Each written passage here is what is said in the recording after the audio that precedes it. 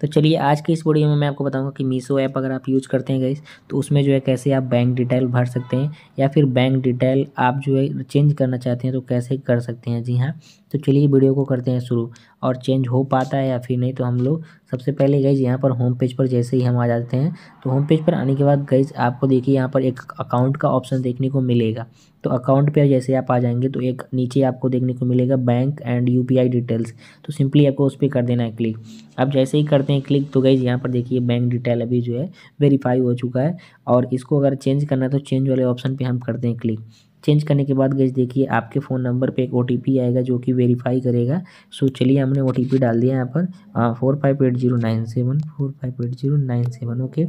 तो ये चीज़ डालने के बाद वेरीफाई हो चुका है। अब यहाँ पर आपसे नया अकाउंट मांगेगा तो इस तरह से आप चेंज करिए। तो चलिए मैं अपना नया नया अकाउंट पहले भर देता हूँ। ओके गई जैसे ही आपका सब कुछ भर जाता है यहाँ पर तो सबमिट पे आपको कर देना है क्लिक तो यहाँ पर लिख रहा है please come back later to update your bank detail और यहाँ पर when you have a pending refund margin or referral payment from Meesho तो गई यहाँ पर ओके पे आपको कर देना है क्लिक मतलब आप इस तरह से चेंज कर सकते हैं, लेकिन आप अभी जो है मेरा एक रिफंड फंसा हुआ है, जो कि मैंने ऑर्डर कैंसिल किया ऑनलाइन पेमेंट किया था सो इसके रिगार्डिंग ये चेंज नहीं हो रहा है, लेकिन आप चेंज कर सकते हैं इसी तरह से।